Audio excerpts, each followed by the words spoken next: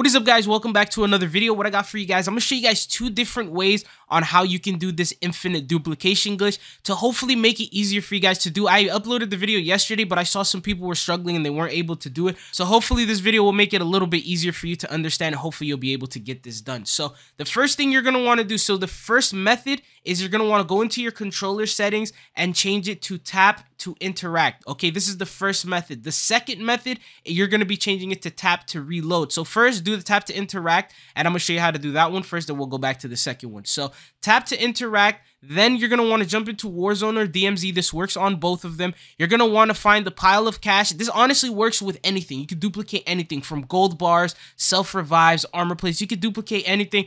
But if you want to get XP, I would recommend you do the cash. So find like say 500 cash on the floor. Make sure you don't go too far from where you originally picked it up. You have to stay at the original spot or else this glitch will not work. I'm not sure why. It just doesn't work no matter how many times you do it correctly. You're going to want to drop the cash in the same area where you picked it up from, like near the same exact area.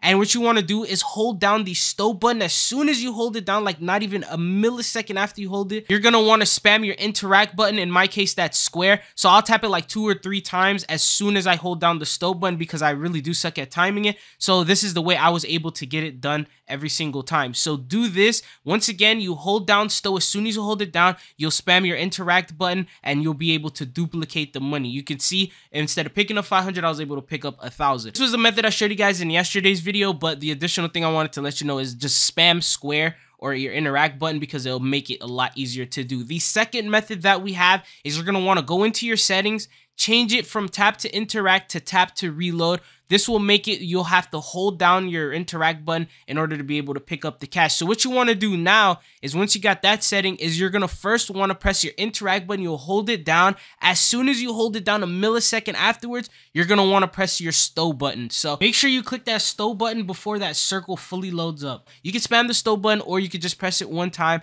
and you'll want to do that and then you'll be able to do the same exact glitch. So this is just a second way you'll be able to do it. If the first one doesn't work, try out the second one. Maybe it'll be easier for you. It just depends on what you feel more comfortable with. But you'll be able to duplicate this money. As you see here from this gameplay, I started with 500 cash and I was able to duplicate it all the way up until 100,000. And then after that, make sure you go to the buy station. Once you get to the buy station, purchase whatever weapon or have whatever weapon you need to level up out at the time and then you're going to want to spam buy armor plates this does give you xp i don't know who said it doesn't give you xp anymore but they did end up giving you XP. So as you can see right here, I did it with my Riot Shield, and at the end of the game, I was able to max this thing out. So that's all I got for you guys in this video. I just wanted to clarify this. Don't forget to hit that like and subscribe button if you guys found this video informative.